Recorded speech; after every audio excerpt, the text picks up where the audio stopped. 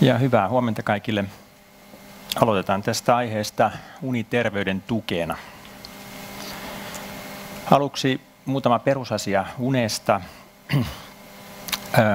Yöunessa se on aktiivista aikaa. Uni ei suinkaan ole mikään passiivinen tila, jossa vaan tapahtuu jotakin, josta emme ole kovin kiinnostuneita ja kaikki mielenkiintoinen tapahtuu silloin, kun olemme valveilla.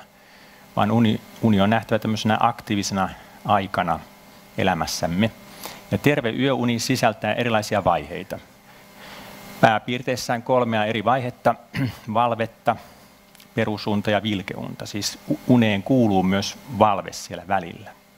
Tässä vasemmalla on valveen aikainen näkymä, sitten on perusuni tässä keskellä ja oikealla on tämä vilkeuni eli REM-uni. Univaiheet erotellaan EMG, siis lihassähköaktiivisuuden, EEG, aivosähköaktiivisuuden ja EOG, eli näiden silmän liikkeiden perusteella näihin kolmeen päävaiheeseen. Tätä perusunta on sitten kevyttä ja syvää perusunta. Yöunen pituus muuttuu ihmisen vanhetessa. Tässä on laitettu ihmisen ikä tänne x-akselille, lähtee yhdestä kuukaudesta, sitten muuttuu siinä yhdeksi vuodeksi ja menee sitten siinä vuoden välein aina tuonne 16 ikävuoteen asti. Ja tuolla y-akselilla näette yöunen pituuden tunneissa – Näitä on erilaisia Sveitsistä, Yhdysvalloista, Australiasta koottuja tietokantoja, joista voitaisiin tuottaa tämmöinen yöunen neuvolakäyrä, jos haluttaisiin. Eli jos nähdään kanava poikkeama täällä käyrässä, niin asiasta pitäisi, siihen pitäisi kiinnittää huomiota ja selvittää sitä syytä. Uni on tämmöinen herkkä terveysmittari. Oli syy sitten psyykkinen tai fyysinen, niin yöunessa usein ilmaantuu häiriöitä hyvin nopeasti. Sitten jos katsotaan nisäkkäitä, joihin ihminenkin kuuluu, että miten pitkään nisäkkäät nukkuvat aikuisina. Sitä on tutkittu hyvinkin tarkkaan. Täällä näette eri nisäkäslajeja ja tähän punaiseen suora kaiteeseen sinne sijoittuu apinat. Ja jos katsotte apinoiden yöunen keskimääräistä pituutta, niin se on tuommoista 10 tuntia tai pitempää. Ja ihminen on alkanut siitä poiketa tässä evoluutionsa aikana hyvinkin nopeasti nyt aivan viimeisen 100 tai 150 vuoden aikana. Et nykyihminen aikuisena nukkuu yhtä pitkään kuin marsu nukkuu aikuisena, ja onko se sitten kaikille riittävästi enää. Unen tehtävistä tämmöisiä perus tehtäviä nyt ajatellaan unella olevan, että mihin sitä unta tarvitaan. Itse näkisin sen sillä tavalla, että tällainen valve rasittaa meitä täällä vasemmalla ylhäällä. Vertauskuvallisesti ehkä voitaisiin nähdä, miten nämä hermosolujen puustot rasittuvat päivän aikaisesta valveesta ja uni tuo tämän virkistävän vaiheen meille sitten elimistöön läpikotaisin. Unen aikana näyttää siltä, että todellakin aivoissa hermosolujen välisessä tilassa se soluvälitila, se laajenee huomattavasti niin, että aivoselkäydinneste pääsee huuhtomaan sieltä syvemmältä, perusteellisemmin sieltä soluvälitilasta erilaisia aineenvaihdunnan tuotteita, niin sanottuja kuona-aineita pois. Soluthan niitä sinne siirtävät aineenvaihduntansa seurauksena osa niistä on soluille vaarallisia ja haitallisia. Ja ne saadaan nimenomaan unen aikana tai unitilassa, jos olemme nukutettuina, sieltä paremmin poistettua kuin mitä saamme sen tehtyä valveilla ollessamme. Se on tämmöinen housekeeping-toiminto, mikä unella on. Sitten sitä unen syvää vaihetta tarvitaan nimenomaan ilmeisesti siihen, että hermosolujen välisiä liitoksia huolletaan, liian heikoiksi jääneitä, liian vahvoiksi punoutuneita näitä synapseja – liitoksia pyritään purkamaan pois ja säilyttämään semmoiset tasapaksut synapsit toiminnassa. Tämmöinen homeostaattinen toiminto. Sitten yöunen, tai siis yön aikana solut jakautuvat ihmisellä. Ne solut, jotka jakautuvat, ilmeisesti unta tarvitaan myös tässä, jotta syntyisi uusia hermosoluja aivoihin. Se ei ole siis niin, että kaikki hermosolut ovat jo valmiina, kun synnytään ja sitten niitä vain kuolee ajan mittaan pois – vaan aikuisellakin aivoihin syntyy uusia hermosoluja, ei kaikkialle aivoihin, mutta tiettyihin aivojen osiin, etenkin niihin osiin, joita tarvitaan muistin ylläpitämiseen. Ja sitten unen aikana nimenomaan elimistö vahvistaa suojaustaan loistartuntoja, mahdollisesti myös muita taudin, siis loisia tai muita taudin aiheuttajia vastaan. Sitten unikuvat, niistä toteaisin, niin kuin tähän on laittanut Aleksis Kiven seitsemästä veljeksestä tämän sitaatin, jossa Simeoni siis toteaa, että siis veljeksistä se, joka aina pelkäsi kaikkea mahdollista, että huhkain tuolla korvessa huutelee ja hänen huutonsa ei ennusta koskaan hyvää. Ennustaapa tulipaloa, tappeluksia ja murhia, niin kuin vanhat ihmiset sanoo. Eli unikuvista on pyritty löytämään tämmöisiä ennuskuvia tai merkkejä, mutta niin kuin Tuomas toteaa Simeonille, metsässä on huutaminen sillä virkana ja ilman mitään merkitystä. Siis REM-uni löydettiin ihmiseltä 50-luvun puolivälissä ja ne tutkijat, jotka sen löysivät, siis REM-unessa nähdään nämä tunnepitoiset, hyvin muistettavat unikuvat ja unitapahtumat.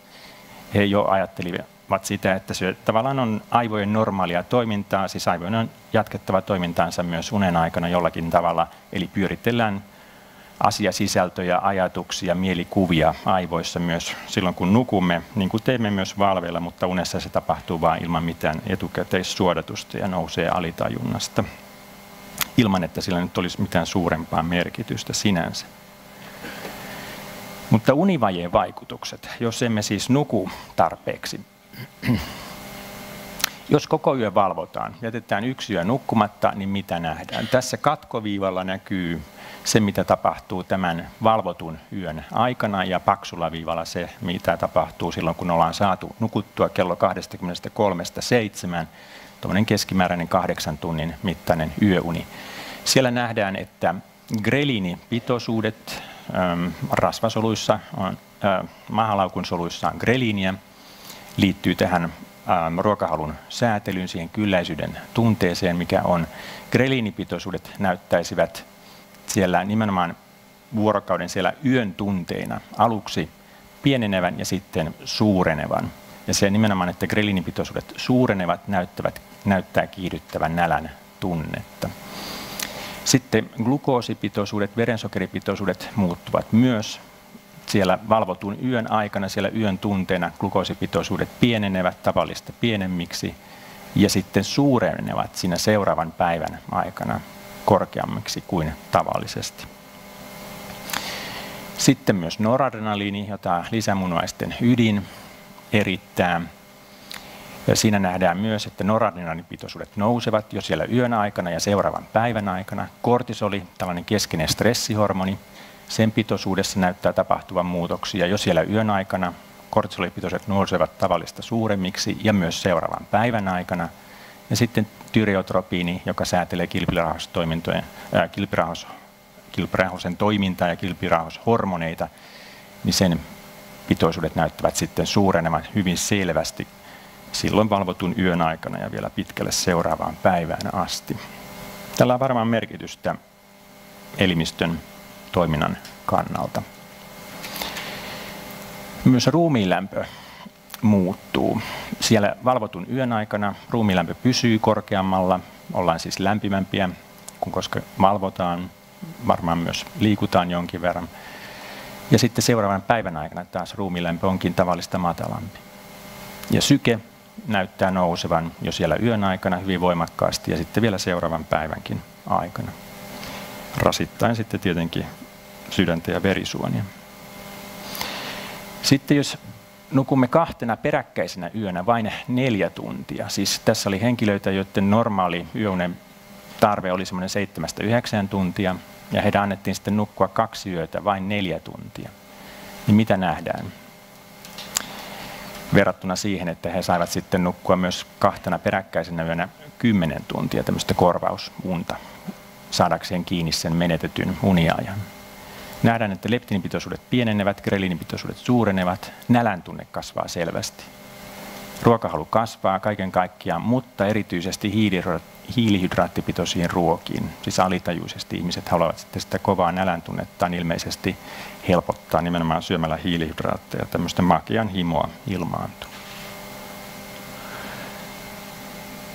No sitten on herännyt ajatus, että voisiko nukkumalla laihtua.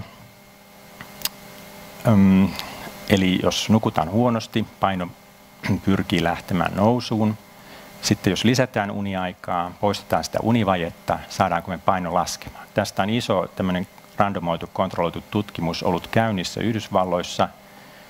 Siitä ei sitä päätulosta ole vieläkään julkaistu, vaikka se tutkimus päättyi kyllä jo ajat sitten.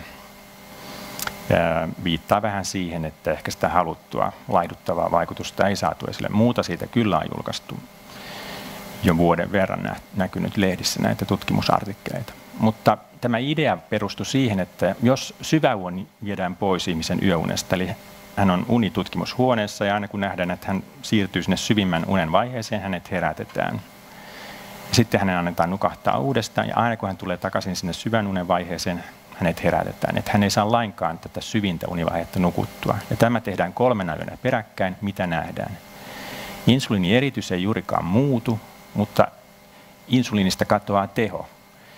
Syntyy tämmöistä insuliiniresistenssiä huomattavasti.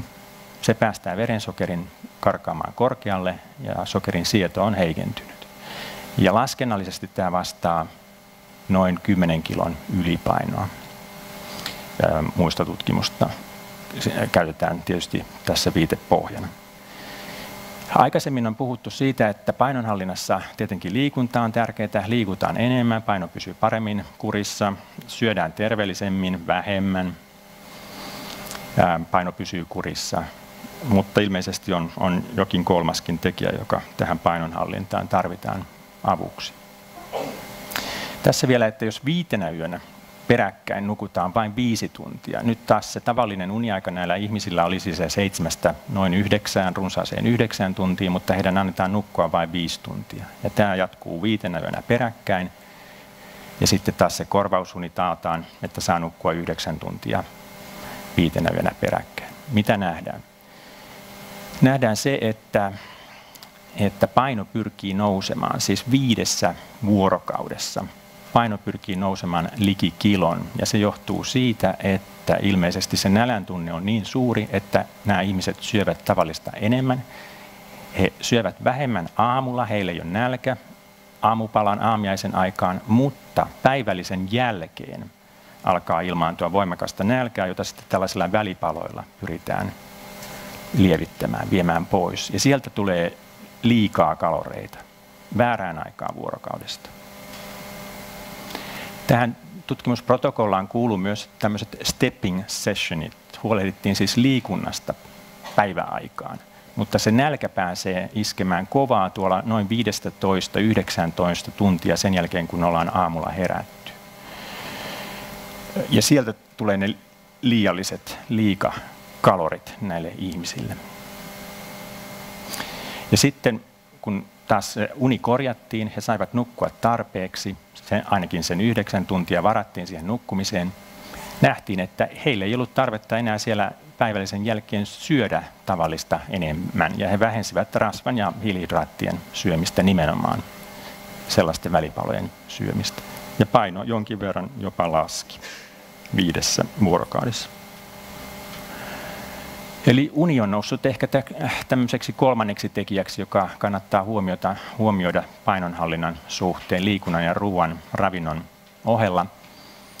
Ja näyttää siltä, että maailmalla on myös tämmöistä seuranta-aineistoa kertynyt liki 10 000 lapsesta viidestä tutkimuksesta, ja heitä on seurattu ainakin kolme vuotta, pisimpään jopa liki kymmenen vuotta, ja nähdään, että mitä lyhyempi yöuni, sitä suurempi painoindeksi. Ja nimenomaan se lyhyempi yöuni ennakoi sitä painoindeksin suurenemista tässä seuranta-asetelmassa. Eli nyt kyse on siitä, että liian lyhyt tai lyhentynyt, jostain syystä lyhentynyt yöuni näyttäisi lihottavan. Mikä sitten on sisäisen kellon merkitys tässä asiassa? Kaikki terveet ihmiset nukkuvat samalla tavalla. Että siinä on vain yksi kaava, jolla tavalla nukkuminen tapahtuu nukahtamisen jälkeen. Ja tässä näette tavallisen kahdeksan tunnin mittaisen yöunen kello 23.7 nukuttuna. Siellä on näitä univaiheita, kevyttä perusunta, syvää perusunta, vilkeunta ja valvetta kertyy sinne prosentin verran aina sinne väleihin lyhyinä hereille havahtumisina ja sitten uudelleen nukahtamisina. Mutta jos se kaikki valve lasketaan yhteen, sitä on noin prosentti siitä koko yön uniajasta. Ja sinne mahtuu tämmöisiä univaihesyklejä tästä perusunesta remuneen ja sitten taas perusunesta remuneen, perusunesta remuneen. Niitä on neljästä kuuteen kappaletta, riippuen nyt kuinka pitkä se luontainen yöuni kullakin on. Ja univalverytmi sitten, että mihin kellonaikaan tämä yöuni ajoittuu, niin kertoo, että miten aamu- tai iltaunisia me olemme. Ja se yksilöllisyys nukkumisessa onkin siinä, että kuinka pitkään luontaisesti nukumme ja mihin kellonaikaan se yöuni luontaisesti ajoittuu.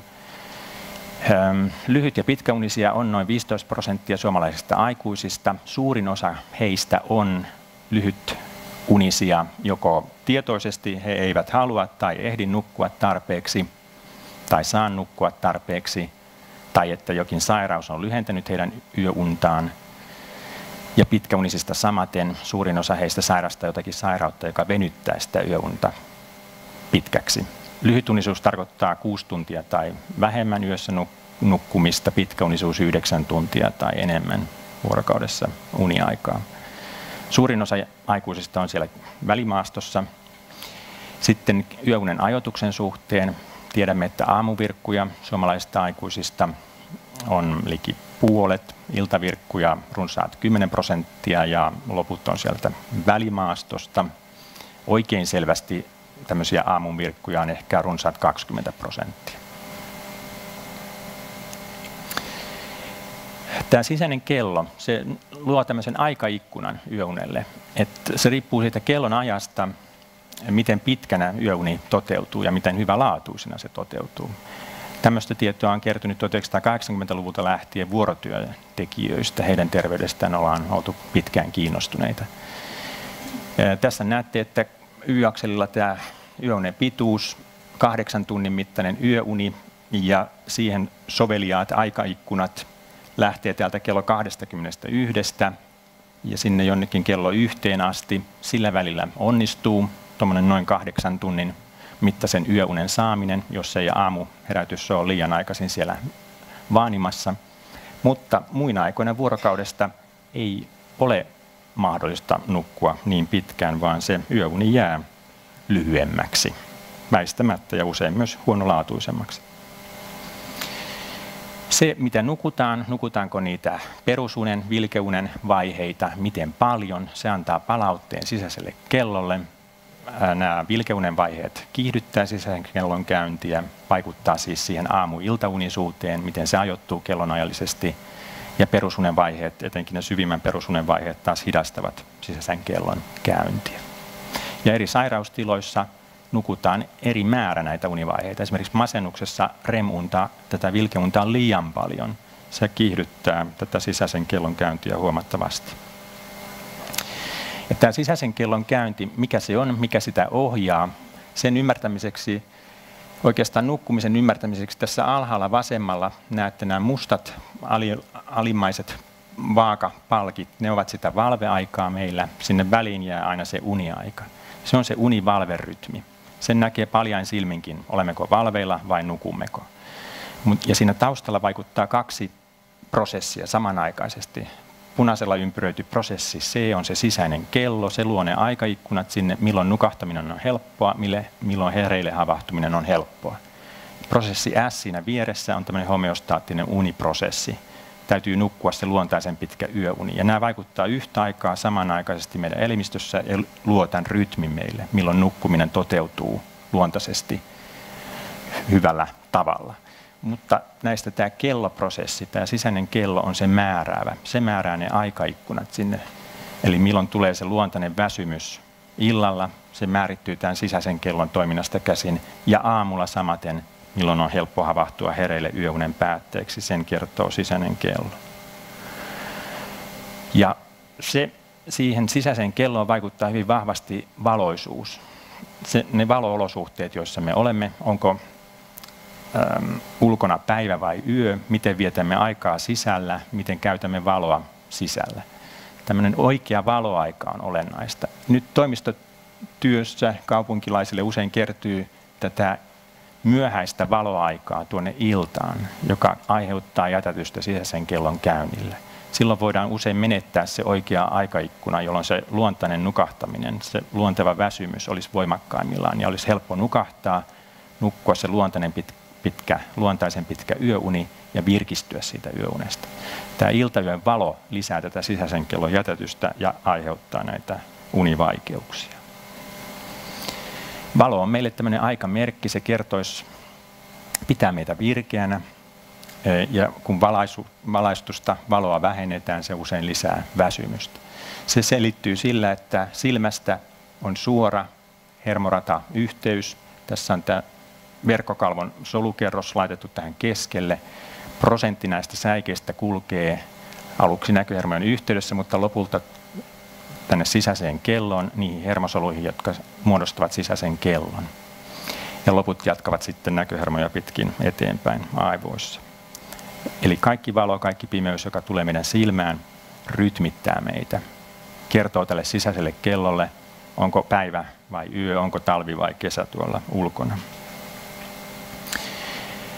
Ja se valolla onkin kaksi vaikutusta. Välitön virkistävä vaikutus, se kulkee näköhermon kautta talamusnimiselle aivoalueelle, sinne takaosiin. Sinne vaikuttaa myös kaikki nukutusaineet, unilääkkeet ynnä muut, jotka vireystilaamme vaikuttavat. Valo vaikuttaa sinne myös suoraan. Ja toinen reitti on tänne sisäiseen kelloon, hypotalamuksen alueelle, jolloin valolla on myös vaikutuksia meidän uneen, nukkumiseen ja mielialaan. Tämä elimistön sisäinen kello on eräänlailla kapellimestari meille, elimistön toiminnoille, koska nämä hermosolut synnyttävät ja ylläpitävät näitä vuorokausirytmejä, joita meillä on ruumiinlämmössä, esimerkiksi virtsan tuotannossa, aivojen verenvirtauksessa, verenpaineessakin se ylempi arvo noudattaa selvä, selvää vuorokausirytmiä. Ja se, nämä sisäisen kellon hermosolut sijaitsevat kiasman yläpuolella suprakiasmaattisessa tumakkeessa, sinne tiivistyneenä. Ja niihin oli se suora yhteys sieltä silmästä. Mutta kapellimestari ei ole ihan täydellinen. Se voi jätättää. Jätätys voimistuu etenkin murrosiässä ja talvisin, jolloin se aikamerkki muualle elimistöön, kaikille soluille, se alkaa laahata jonkin verran jäljessä. Ja ihmisen sisäinen vuorokausi on 24 tuntia pitempi. Se tapahtuu joka vuorokausi, mutta tämä jätätys pahenee etenkin murrosiässä ja talvisin ja etenkin siis iltavalossa oleskella, oleskellessa esimerkiksi. Tai sillä, että kärsimme univajeesta, se pahentaa tätä sisäisen kellon jätätystä. Nyt iltavirkuilla sisäinen kello on luontaisesti, se jätättää vähän enemmän kuin muilla, ja jostain syystä iltavirkut keräävät kaikki terveysriskit itsensä. Et jos ihmisten välillä on terveysriskeissä eroa, me ollaan katsottu näistä Finriski väestötutkimusaineistoista erilaisia terveysriskejä, vaaroja, oireita ja sairauksia. Jos niissä on eroa aamu- ja iltaunisten ja siellä välimaastossa olevien ihmisten kesken, niin poikkeuksesta kaikki nämä riskit on kasaantuneet iltavirkuille. Ja se on tosi kummallista, miksi näin on. Iltavirkuilla on enemmän univajetta, epäterveellisempi ruokavalio, heillä on tunnesyömistä, tupakoivat useammin, juovat runsammin alkoholia, liikkuvat niukemmin, viettävät enemmän aikaa erilaisten ruutujen ääressä. Sitten heillä on myös enemmän unettomuutta, painajaisia, depressiota, kaamosoireita, verenpainetautia, aikuisien diabetesta, keuhkoastmaa, selkäsairauksia, selkäkipua. Heillä on myös pitkä, pitempi kuukautisvuoto ynnä muuta. Ja myös ennenaikaista kuolleisuutta. Se tulee nyt tämmöisten entisten huippuurheilijoiden kohortista. Siinä oli vain miehiä mukana. Ja se kuolleisuus alkaa näkyä siinä 55 ikävuoden jälkeen. Eli iltavirut kuolevat nuorempina. Pätee siis miehiin. Muualta maailmasta tämmöistä aineistoa ei ole vielä analysoitu, koska sellaista ehkä ei ole olemassakaan. Tämä on sikäli ainutlaatuinen Helsingin yliopiston Seppo Sarnan kokoama kohorttiaineisto, jossa tätä on pystytty nyt tutkimaan. Naisista siis emme vielä tiedä tämän ennenaikaisen kuolleisuuden suhteen, miten se käyttäytyy tämän koronatyypin suhteen. Mutta sitten huoli on myös siinä, että jo lapsilla ja nuorilla tällä iltavirkkuudella voi olla merkitystä. Että jos nukkuu yhtä pitkän yöunen, mutta se uni ajoittuu myöhäisempään ajankohtaan. Siis myöhäinen nukkumaanmenoaika ja myöhäinen heräämisaika, mutta se yöuni on yhtä pitkä. Niin suurempi vaara on ylipainon, lihavuuden, niukan liikunnan, pitkän ruutuajan ja epäterveellisemmän ruokavalion suhteen 9-16-vuotiailla. Tämä oli Australiasta koko Australian kattava tällainen koululaisaineisto.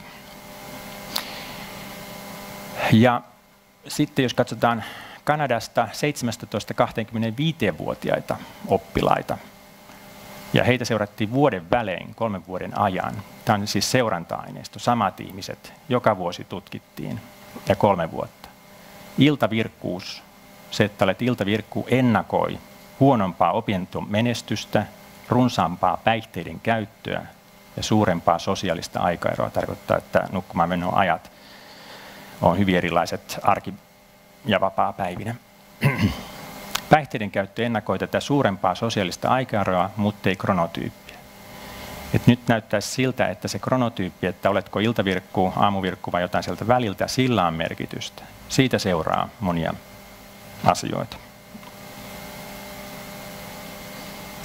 Ja kouluvaikeudet näyttää kasaantuvan iltavirkuille.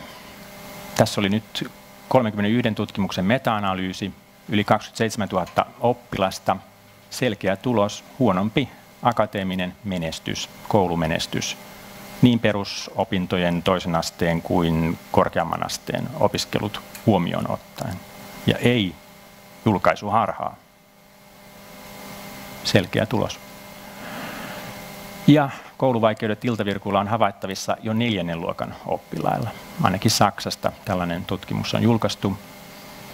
Eli noin 10-vuotiaita. Heillä, jotka, jotka, heistä, jotka on iltavirkkuja, heillä on enemmän kouluvaikeuksia.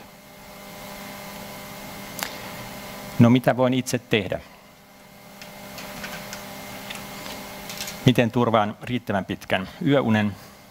Ensin pitäisi ehkä arvostaa unta ja muistaa, että se on aktiivista aikaa, kulunutta sanontaa käyttäen laatuaikaa, mutta ensin pitäisi tunnistaa se, mikä on itselle riittävän pitkä yöuni. Ja siihen ei ole mitään laboratoriokoetta, ei mitään unirekisteröintiä, joka sen kertoisi, vaan se, se on se oma kokemus.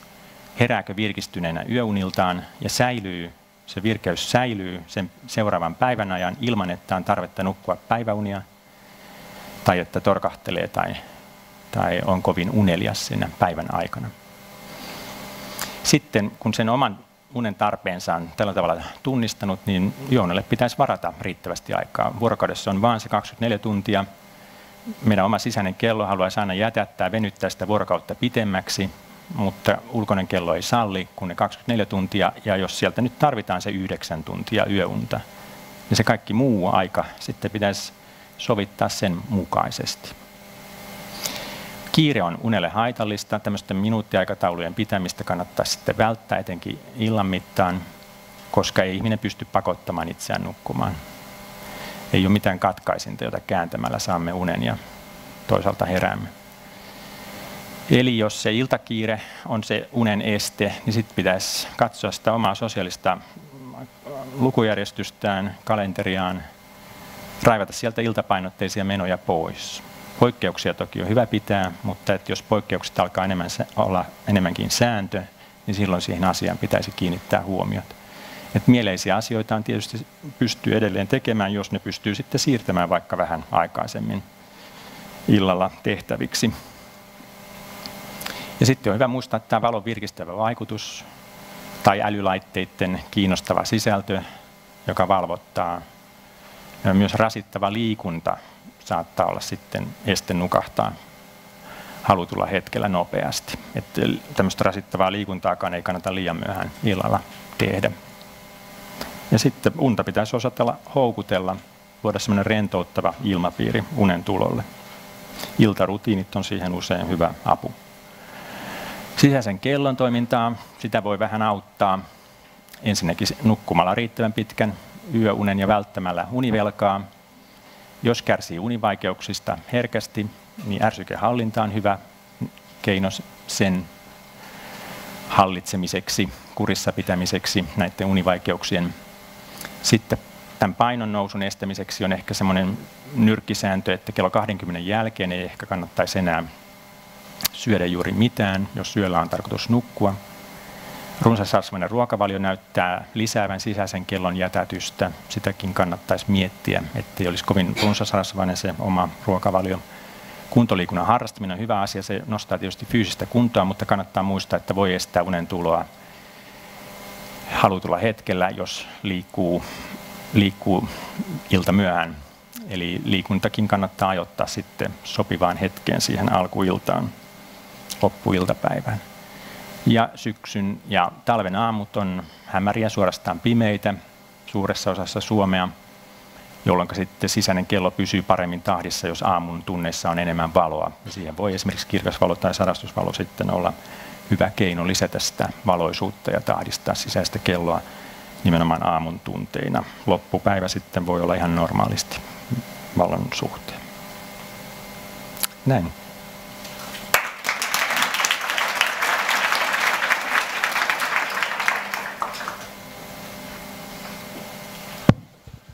Kiitos Timo erinomaisesta mielenkiintoisesta esityksestä.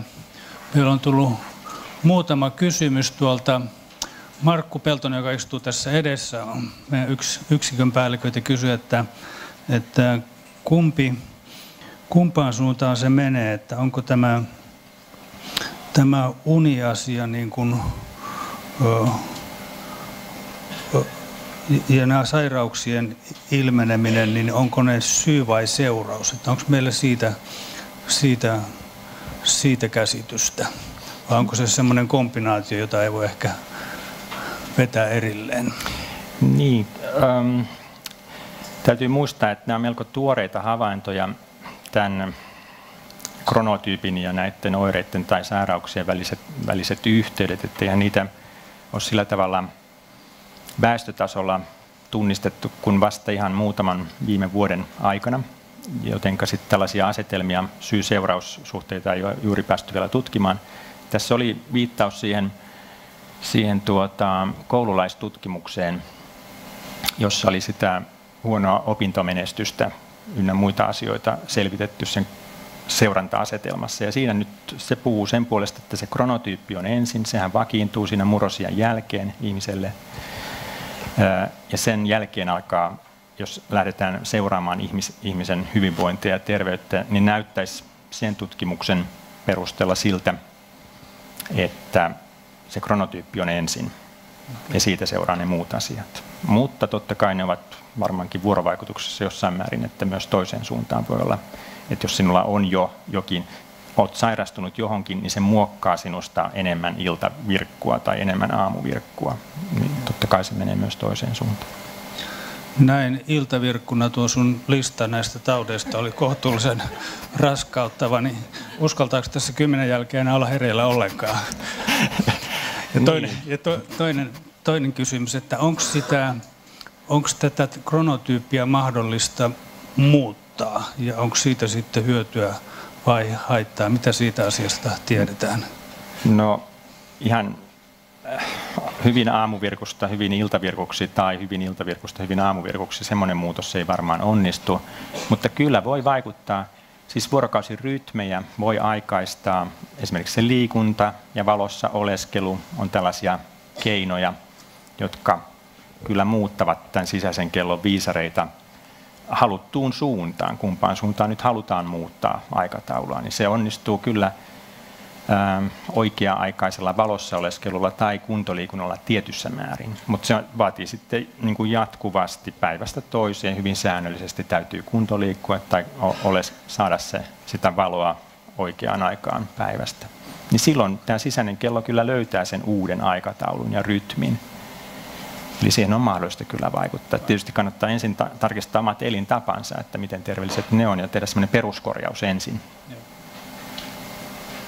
No sitten täällä on kysymys, onko kirkasvalolampusta oikeasti hyötyä? Mitä, mitä siitä tiedetään? Niin, sillä voidaan kaamosmasennusta kyllä hoitaa ja lievittää kaamosoireita. Sitten sitä on käytetty sitä välitöntä virkistävää vaikutusta hyväksi tietyissä tapauksissa, kun halutaan vireyttä ylläpitää. Mutta ainakin näissä tapauksissa se näyttää hyvin toimivalta.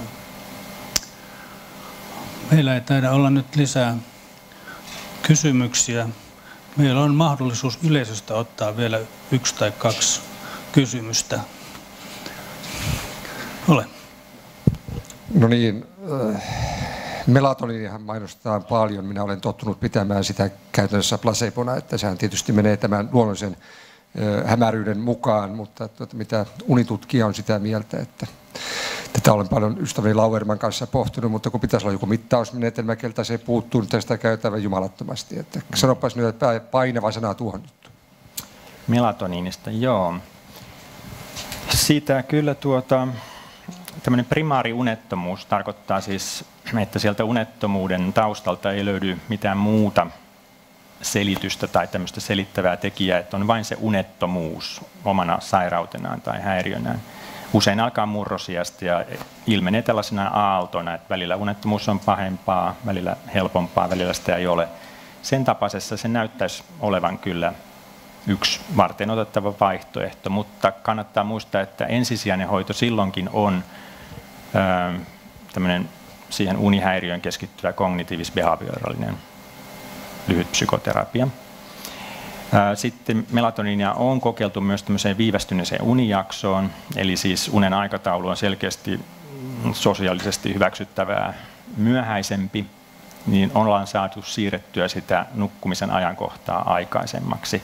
Mutta sitten kun melatoniinin käyttö loppuu, niin tietysti se ajautuu hyvin pian sinne takaisin sinne samaan tilanteeseen, mihin lähdettiin, että sekään ei ehkä ole semmoinen pysyvä ratkaisu tai hyvä, hyvä keino sitten siinä. Melatoniini, noin, sehän on nyt ilman reseptiäkin ja katsottu tämmöiseksi ravintolisäksi ja yhden milligramman vahvuisena saatavissa ilman reseptiä. Siitä tiedetään, että terveellä ihmisellä, joka siis tuskin nyt tarvitsee melatoniinia, niin se melatoniini yhden milligramman annoksena – jos sitä säännöllisesti ottaa, niin aikaistaa nukkumista ehkä noin kolme tai neljä minuuttia. No niin, kiitoksia. Vielä taputukset Timolle. Ja nyt me on